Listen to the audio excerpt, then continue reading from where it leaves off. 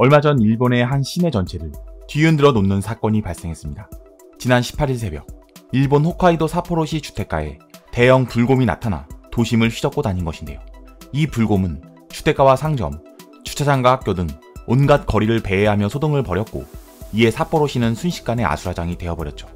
몸 길이가 2m에 달하는 이 곰은 엄청난 몸집과 함께 재빠른 움직임을 보이며 시내를 헤집고 다녔는데요. 이 곰을 목격한 사람들이 실시간으로 SNS에 이 영상들을 올리며 사포로시의 빠른 대처를 요구했지만 순간적으로 당황한 사포로시는 여기에 무척이나 굼뜨게 대처했고 결국 곰에 의해 습격을 당한 사람까지 속출하게 되었습니다. 차로를 가로질러 달리던 곰은 한적한 이면도로에서 걸어가던 40대 남성의 뒤를 쫓아가 공격을 한 것에 이어 산책을 하던 70대 남성과 80대 여성까지 습격했고 이들은 가슴뼈가 부러지고 팔과 다리, 허리에 상처를 입는 등 그야말로 큰 부상을 입게 되었는데요. 하지만 그럼에도 곰의 흥분은 가라앉지 않았고 마침내 일본 자위대 기지까지 돌진하게 됩니다. 무장한 군인들이 경계를 하고 있었음에도 불구하고 이 기지를 향해 돌진하는 곰을 아무도 말릴 수가 없었고 이내 곰은 그렇게 홀로 자위대 정문을 뚫어버리며 일본 자위대원을 습격해 경상을 입히기까지 했습니다. 일본이 그토록이나 자부심으로 뽐내던 그런 최강의 군집단인 일본 자위대가 그렇게 곰 한 마리에 초토화되어 버린 것이죠. 그 후로도 한참 난동을 부리던 곰은 그렇게 등장한 지 8시간이 지나서야 일본 수렵회 소속의 사냥꾼에 의해 사살되었고 이후 소란이 겨우 진정될 수 있었습니다. 갑작스럽게 곰이 나타나 마을을 활보하는 것은 마치 만화 속에서나 일어날 법한 이야기이기에 다소 우스꽝스럽게 느껴지기도 했지만 실제로 거리를 걸어가다 곰을 마주한다고 생각해보면 이것이 재밌다기보다는 공포스럽기 그지없는 상황인데요. 그렇기에 곰이 출연했을 당시 일본인들이 올린 SNS 영상에는 해당 상황을 즐기는 웃음보다는 다급한 목소리의 염려가 대부분이었습니다. 이렇게 뜬금없이 등장한 곰으로 인해 많은 사람들이 생존의 위협을 느끼며 공포에 떨었던 것이죠. 사실 일본에서는 이와 같이 곰에 의한 피해를 입은 사례가 이전에도 존재했었는데요. 심한 경우에는 곰을 마주했던 이가 형체를 알아볼 수 없는 주검으로 발견되기도 한 적이 있었습니다. 과거 일본에서는 산행을 통해 자연을 오롯이 느끼며 자연에 대한 사랑과 조국애를 기르는 풍토가 유행한 적이 있었는데요. 당시 이와 같은 시류에 동조하던 후쿠오카 대학의 한 자연주의 동아리에서 다섯 명의 학생이 홋카이도의 산맥을 종주하고자 기차를 타고 그곳으로 향했습니다. 그들의 목표는 몇 개의 산을 탄 뒤 마지막에 페테가리 산을 등정하는 것이었고 그렇게 오랜 시간 동안 꿈으로만 품었던 목표를 곧 이룰 수 있을 거라는 생각에 이 젊은 청년들은 설레는 마음으로 등반을 하기 시작했죠. 그렇게 무척이나 즐거운 마음으로 산을 타던 그들은 원정의 중간 지점 정도 되는 카무이에쿠산 정상 근처에 위치한 마루노자와 분지에 텐트를 쳤고 거기에서 일행들은 앞으로의 산행에 대해 이야기를 나누며 느긋하게 휴식을 취하고 있었습니다. 마치 청춘 드라마의 한 장면 같은 언뜻 낭만적으로도 느껴지는 이 상황은 하지만 얼마 지나지 않아 한편의 재난 영화로 뒤바뀌게 됩니다. 텐트 앞에서 오손도손 대화를 하던 그들 앞에 커다란 불곰 한 마리가 나타난 것이죠. 곰을 볼 일이 전무한 큐슈 지방에서 온 학생들이었기에 처음 불곰을 보았을 때 그들은 이를 전혀 두려워하지 않고 오히려 무척이나 신기하게 곰을 관찰했다고 하는데요. 분명 자신들의 생명을 앗아갈 수 있는 맹수지만 언뜻 보기에 귀여운 곰의 외모는 공포심보다는 호기심으로 그들에게 다가왔던 것이죠. 이에 학생들은 앞으로 무슨 일이 일어날지 한치 앞도 모른 채 이 장소에서 도망가기는커녕 오히려 곰의 사진을 찍고 곰이 어떻게 움직이는지 관찰하며 즐기고 있었다고 합니다. 그렇게 등장한 곰은 일행의 텐트와 배낭을 뒤지며 먹을거리를 찾고 있었고 학생들은 이를 지켜보다 더 이상 안 되겠는지 불을 지핀 나무와 식기를 두드리며 그렇게 곰을 쫓아낸 뒤 배낭을 회수하고는 신기한 경험에 그저 해맑게 웃으며 이야기를 나누다 잠에 들게 되었죠.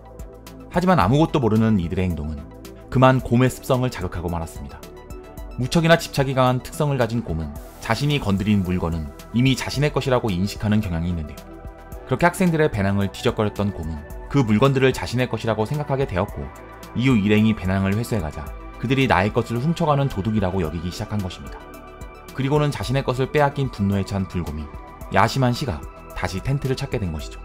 텐트에서 잠을 자던 일행은 근처에서 들리는 거친 콧김 소리에 잠이 깨게 되었는데요. 하지만 그들이 상황을 미처 파악하기도 전에 이미 불곰의 앞발은 이들의 텐트를 뚫고 들어와 있었습니다. 그제서야 생명의 위기를 느낀 학생들은 텐트 구석에 몸을 웅크리고 앉아 이 곰이 지나가기만을 기다렸는데요. 하지만 이미 발동한 곰의 집념은 생각보다 무척이나 강했습니다. 그렇게 일주일이 뜰 무렵까지 텐트 곁을 떠나지 않았던 곰은 마침내 텐트를 잡아당기기 시작했고 이내 텐트는 무너지고 말았죠. 그리고는 텐트에 들어와서 자신의 것이라 생각한 배낭을 챙기기 시작했고 학생들은 곰이 배낭에 관심을 가지는 사이 자신들의 짐을 모두 버리고 필사의 탈출을 시도하게 되었습니다. 다행히도 곰은 배낭에 정신이 팔려 있었기에 그들은 다행히 아무런 상처 없이 도망을 칠 수 있었는데요. 그렇게 안심을 하게 된 학생들은 하산을 하는 도중 이제는 곰이 찾을 수 없을 거라 생각하여 다시 한번 능선 위에 텐트를 친 뒤 한참 동안 마음을 졸이다 이내 안심하고는 잠이 들게 되었습니다. 하지만 곰의 집념은 아직도 이 일행을 기억하고 있었습니다. 또다시 그들 텐트 앞에 나타난 불곰은 이제는 이미 배낭을 얻었기에 이들 학생들에게 관심을 가지기 시작했는데요. 한 시간에 달하는 시간 동안 곰은 텐트 옆에서 거친 숨을 내쉬며 기다리고 있었고 일행은 그 시간을 그저 공포에 벌벌 떨 뿐이었습니다. 그러던 중 어느 찰나에 곰의 기척이 사라진 것을 확인한 학생들은 자신들의 물건을 챙길 새도 없이 다급히 밤의 산길을 뛰어내려갔습니다. 하지만 한참을 내려가던 중 갑자기 등 뒤에서 알 수 없는 서늘함이 느껴졌고 이에 뒤를 돌아보자 발소리를 죽인 불곰이 그들을 따라오며 수미터까지 접근해 있었던 것입니다. 이에 이성을 잃고 혼비백산한 일행들은 그렇게 비명을 지르며 미친 듯이 달려 도망치기 시작했지만 거대한 몸집에도 불구하고 민첩한 몸놀림을 지닌 불곰의 추격을 모두 피할 수는 없었죠.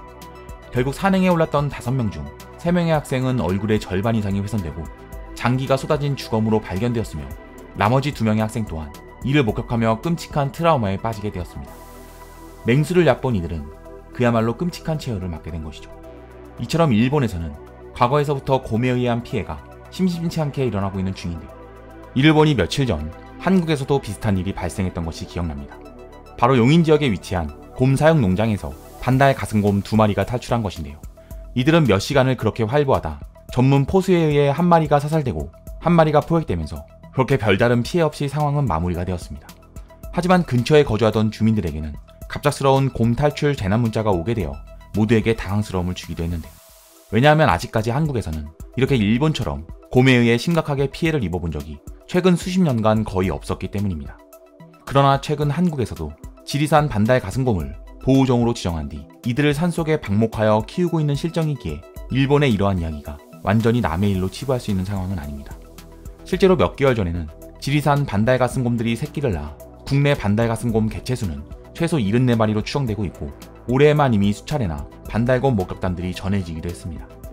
이에 우리 역시 곰을 주의하는 방법을 숙지하고 이것에 대해 충분히 대비를 할 필요가 있다는 것입니다.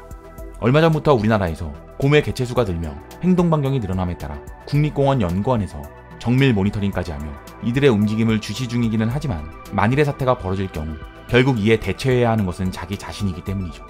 우선 곰이 가장 많은 활동을 하는 시기는 동면이 깬 직후인 3, 4월과 짝짓기를 위해 돌아다니는 6월에서 8월인데 이렇게 활동을 하고 있는 곰을 피하기 위해서는 지정된 탐방로를 벗어나지 않아야 하고 배설물과 나무를 핥힌 흔적을 발견했을 때에는 재빨리 그 자리를 피하는 것이 좋습니다.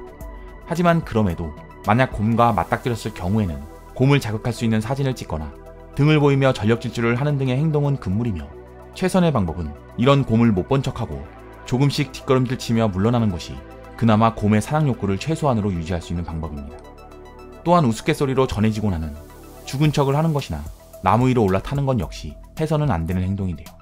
곰의 경우 인간보다 훨씬 나무를 잘 타기 때문에 나무에 올라간다고 하더라도 곰에게서 피할 수 없으며 알려진 것과 다르게 곰은 죽은 고기와 부패된 고기를 가리지 않는 습성이 있기에 자칫 잘못하면 죽은 척을 하며 누워있다가는 끔찍한 죄를 맞이할 가능성이 다분하기 때문입니다. 그렇기 때문에 이러한 대처 방법들은 최근 반달 가슴곰의 출현이 잦아짐에 따라 많은 지자체에서 강조하고 있기도 한데요. 여러분들도 만일의 사태에 대비해 미리 이러한 대처법을 염두에 두어 혹시나 닥칠 수 있는 위기에 잘 대비할 수 있기를 바라며 오늘 준비한 내용 여기서 마치겠습니다. 이상 세모반의 듬직한 리포터 진포터였습니다. 도움이 되셨다면 구독과 좋아요 부탁드리고요. 앞으로도 세상 모든 반응 채널에 많은 관심 부탁드립니다.